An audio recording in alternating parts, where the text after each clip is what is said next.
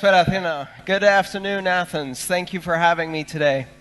Fiat currency and BitPay, a payment system for Bitcoin.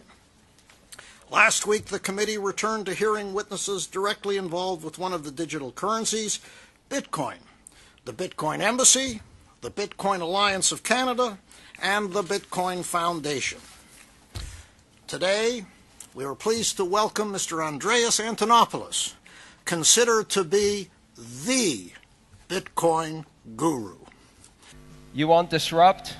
I got disrupt. No, I've got downright revolution.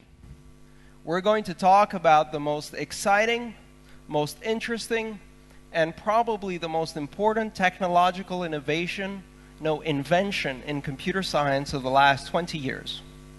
I'm here to talk about Bitcoin. Saying Bitcoin is digital money is like saying the internet is a fancy telephone. It's like saying that the internet is all about email. Money is just the first application.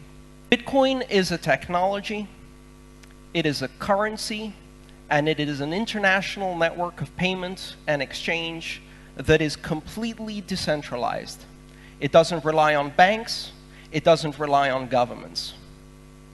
And we have never done this before in the history of humanity. So let's get started. Bitcoin is digital money. It's money just like euros or dollars, only it's not owned by a government. And you can send it from any point in the world to any other point in the world instantaneously, securely, and for minimal or no fees at all. I, I, think we've been heading in towards a cashless society that's trackable, and that's credit cards and wire transfers and bank accounts. Bitcoin allows you to take control of your money, and that control can be exercised with innovation at the edge that allows you to re inject privacy and anonymity as necessary, and that will make it a very powerful force for individuals. It, it actually forces governments to be more transparent and allows individuals to be more private. The current experiment of fiat based currencies that are not tied to any tangible goods that are used to fund war, that are issued by central banks, with income taxation directly out of a worker's paycheck, is a 60 year failed experiment. We have the opportunity not to bank the other 6 billion, but to unbank all 7 billion of us. We have the opportunity to allow the developing world to leapfrog directly from their current state of cash based societies to digital cash societies and bypass the entire fiasco failed experiment of central currencies that we've experimented with in the Western world. And they're going to take this opportunity, just like they leapfrogged landlines and went directly to cell phones. So, Bitcoin is the money of the people. At its center, simple mathematical rules that everyone agrees on and no controls there's some kind of weird internet money when in fact Bitcoin is so much more. I mean, Bitcoin is a technology that allows you to transfer asset value across the internet instantly, securely, and cheaply. And that has a lot more implications than just money. Uh, it can be used for stock markets and bonds, it can be used for legal contracts, it can be used to do settlement on a house, it can be used for all kinds of things we haven't even imagined yet. Bitcoin isn't just money for the internet, it's the internet of money. Um, but I'm talking about inflation. So if you, uh, people generally don't understand how inflation works. If they did, they'd be horrified. Because then they would realize that they're being robbed on a daily basis. Um, I think it was Ford who said that if, uh, if the common people ever understand how central banking works, there'll be a revolution is probably right. Most people really don't understand how money works. The idea that an organization in the US, it's even more bizarre. The Federal Reserve Bank is not a government body. Who knew that? Did you know that? It's a private company. It's a private company made up of member banks. And they create money out of nothing, and then they use that money to buy treasury bills and put the government into debt against the money that they give their own member banks. Now, if you try to explain this to a five year old, they will very quickly point out that if you give someone the ability to make money, they're going to rob you blind. Because a five year old will get that, right? You have to be an adult to miss that point. you have to be a very, very serious adult who says, no, the Federal Reserve Bank uh, offers stability for our currency by carefully manipulating interest exchange rates on overnight banking loans between banks, thereby establishing a smooth business cycle between boom and bust and allowing for the uh, allocation of capital efficiently in the markets, which is all a very long way of saying they're robbing you blind. Now, if you then try to explain to the average person what 2% inflation is, there's two ways to explain it. You can say, well, 2% inflation means that every year your money uh, reduces in actual purchasing value by 2%. And they'll try to do the math in their head, and if they're like me, they'll fail. They'll pull out a calculator and try to do it again, probably fail again because compound interest is kind of tricky like that. Or there's a simple way to do it. In 36 years, everything is twice as expensive. What? You mean I save for 36 years and then I've got $100,000 in the bank, but it's only worth 50 in today's money? Those guys are robbing us blind. but most people really don't think about money. Money is something that pervades our life, but most people don't think about it because we don't really understand it. And I challenge you to try to explain money to a five year old. And you will very quickly find out that they start asking questions to which you don't have the answers. Most people don't have the answers to these questions. Uh, and the reason they don't have the answers to these questions is because most people don't understand money.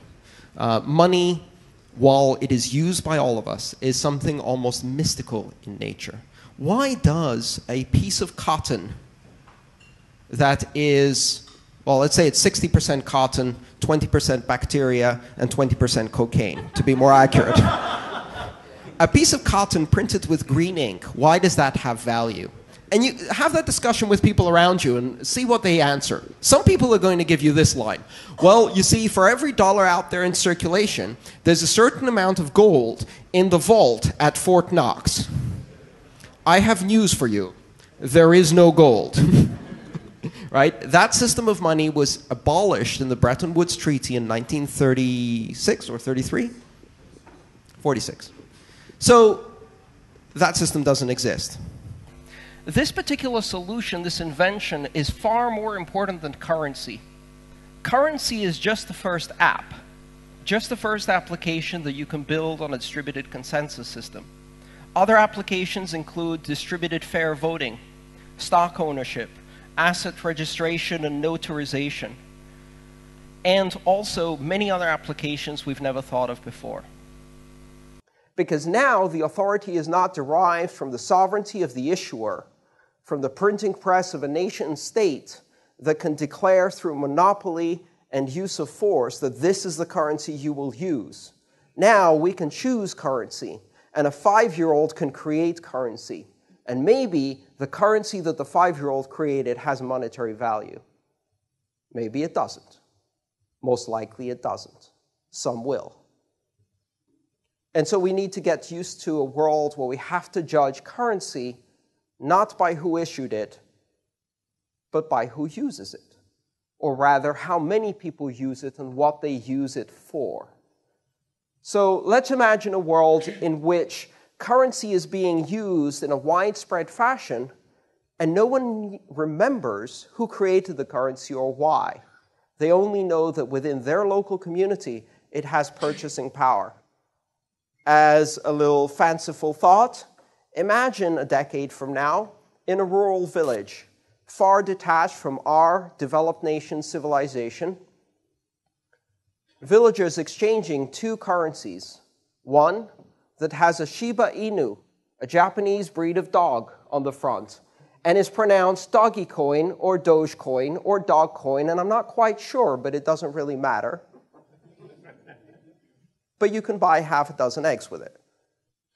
And other villages are trading another currency that has an old white lady called Elizabeth on it. And they have no idea who Elizabeth is. And they don't know why she got her picture on the coin. Maybe she wrote a nice song. Maybe she won Canadian Teen Idol. Nobody remembers anymore, but you can buy six eggs with it. And to those people, it doesn't matter who issued the currency. What matters is whether it has purchasing power or not. The currency is now evaluated purely on its monetary basis because of adoption, because of use. And there is one fundamental difference between those two currencies. One has a predictable, stable, algorithmic monetary supply, and the other has an old white lady called Elizabeth on it. So, in fact, one of them has some real intrinsic value because it's removed some of the uncertainty of the monetary system from it. The other one doesn't really. We need to get ready to live in a world where multiple currencies will coexist. So, currency as a means of expression, currency as a tool of language, is no longer up to the issuer. It is up to us as individuals making a choice to use that currency, and we give it value through our use. We give it value through adoption. And we will be surprised by some of the currencies that will emerge from a fad, that will emerge from a joke, perhaps even a sick joke, and will explode into viral consciousness on the internet and then become real monetary powers in use across a broad population, surprising all of us. Now, some of you may have heard of Bitcoin as a currency, as a system of money that is currently going wildly high in price one day and wildly low in price the other day. And what I'm here to tell you is to ignore the price and to ignore Bitcoin the money and understand Bitcoin the technology, the invention, and the network it creates. Because if we mess up the money, we'll just reboot another currency. The invention of Bitcoin, the technology that makes it possible, cannot be uninvented and it creates the possibility for decentralized organization on a scale never before seen on this planet. This is a nature of decentralized systems. By diffusing power, you see, the mistake is to think that you can somehow stop the accumulation of power by finding that one honest person, giving them all the power and hoping they act well. And that always fails. Um, the only way to stop centralization of power is to diffuse power so that even though there will be bad actors, they don't have enough power to affect the entire system. And that's exactly what Bitcoin does. What it does is it takes the power of intermediary institutions and says, hey, thank you so much for acting as a clearinghouse. Uh, we really appreciate your service over these many, many years, uh, which you did, and toiled uh, for the measly sum of 5 to 12% of our income. But uh, we just replaced you with 100 lines of Python code, so uh, thank you very much. We'll take it from here. and and you don't need and then you can start saying well i can do clearing of transactions for a third of a penny and and why do we need you exactly and so you cut out one intermediary uh, we could do this in the remittances market, for example, and say, so Western Union, what you do is you use other people's networks to move money from one country to another, and for that incredible service that only takes five to seven days, you charge us 10%. Well, thank you very much for your service, but we just replaced your industry with 100 lines of Python code, so bye bye now. and this is going to keep happening we saw this in the internet. I remember in the early days on the internet, system administrators would go around with a T-shirt that said, "I just replaced you with a with a script." Um, and we can really do that now for financial services. The truth is that the vast majority of innovation that's happened in financial services over the last 20 years has been primarily in finding ways to cheat consumers and cheat markets. It's been about high frequency trading, algo trading, sequencing transactions, front running transactions, and extracting as much fees as possible from consumers. And consumers don't benefit from that. So when you give consumers an alternative and they begin to experience that, they start noticing things. People also ask me, how do we make Bitcoin successful? And it's like, you don't really need to market something that works. Bitcoin is useful. Just demonstrate it to people. And then they'll see that Bitcoin doesn't have banking hours, doesn't take three to five business days to clear, won't freeze your account, won't take a $35 fee if you don't have enough money. And uh, by the way, Target just got compromised, 60 million accounts got stolen, Bitcoin doesn't give a shit. right? Because we don't work that way. So these are the simple, usable, and useful characteristics of this currency, and those things, once demonstrated to people, now we've got a long way to go to make it easy and secure and straightforward. Just like when I got on the internet and I had to go through all of that, I never expected my mom would send an email. By the way, exactly 20 years to the day after I sent my first email, my mother sent her first email on an iPad by swiping a finger across a screen. And it took 20 years to deliver that level of ease of use and functionality. But I have no doubt that she's going to use Bitcoin at some point, and it's going to be a lot easier, and it's not going to take us 20 years, because this time we have the internet. Okay. I also like to address the issues of crime and money laundering on Bitcoin, because that's something that comes up often, and it's such a ridiculous issue. Uh, if you watch the Senate hearings on Bitcoin, only one of the senators really grasped some of the disruptive effects and started asking questions about how this would affect the monetary policy of the Fed. All of the other ones were talking about whether there'd be money laundering on this new payment network, completely missing the point. Uh, first of all, out of the 7.5 billion people on this planet, how many of them are going to use Bitcoin for criminal purposes, and how many of them are going to use it to achieve personal empowerment?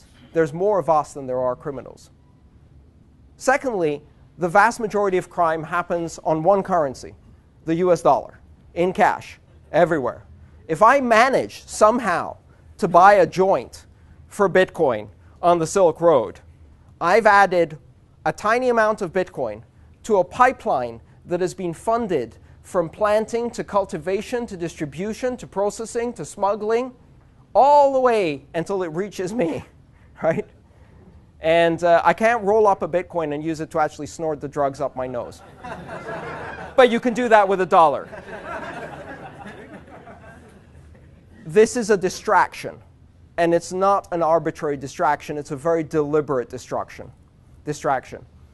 On the internet, when we started using the internet, and I was on in 1989 as a teenager, but really got into it around 1991, I remember clearly the internet was not an engine of innovation and growth. The internet was a den of thieves, pornographers, and terrorists.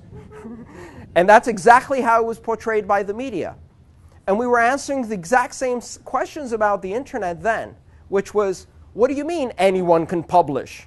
What do you mean anyone can say anything without any controls? Society will implode. That's impossible. We can't do that. And so now we're having the same conversation. What do you mean people can send money anywhere in the world without controls? Well, guess what? That's how it's always been. Bitcoin is not a company. It's not an organization. It is a standard or a protocol just like TCP/IP or the internet. It's not owned by anyone. It operates by simple mathematical rules that everyone who participates in the network agrees on. And through this simple mechanism, and through the invention of Satoshi Nakamoto, Bitcoin is able to allow a completely decentralized network of computers to agree on what transactions have occurred on a network, essentially agreeing on who ha currently has the money. Do you have any concerns about a large nation state that has um, interest in just actively destroying Bitcoin? To make their own, you know, super rigs and uh, design chips and just throw hundreds of millions or billions of dollars to intentionally disrupt the blockchain. Yeah, I, I don't worry about that at all. Um, this cannot be done with Bitcoin anymore. This is something that can only be done with nascent altcoins. Uh, Bitcoin has achieved a, a, level of computing that uh, no single nation state can, uh, can overthrow it through computation alone. Uh, the effort to do so would require a massive covert operation of chip fabrication, uh, then the coordinated assault that would give them dominance over the next block for 10 minutes until we kick those bastards off the network, uh, rework the protocol around them. They would be revealed. They would have lost a billion dollars doing this, and all they got to do was one double spend.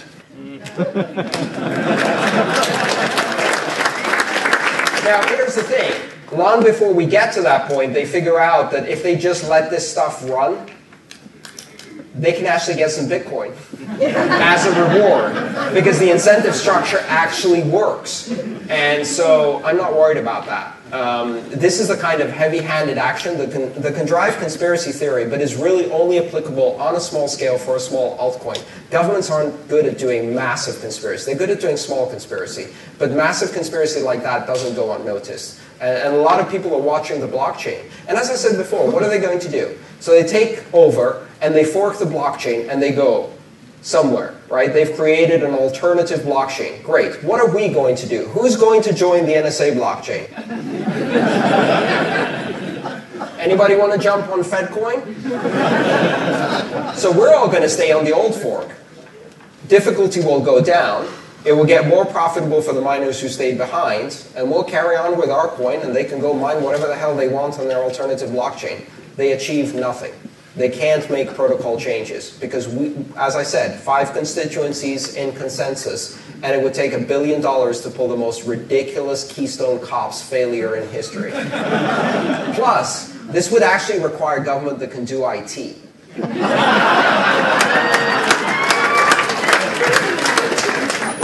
You think they can organize a massive mining rig? Uh, uh, go check out uh, healthcare.gov.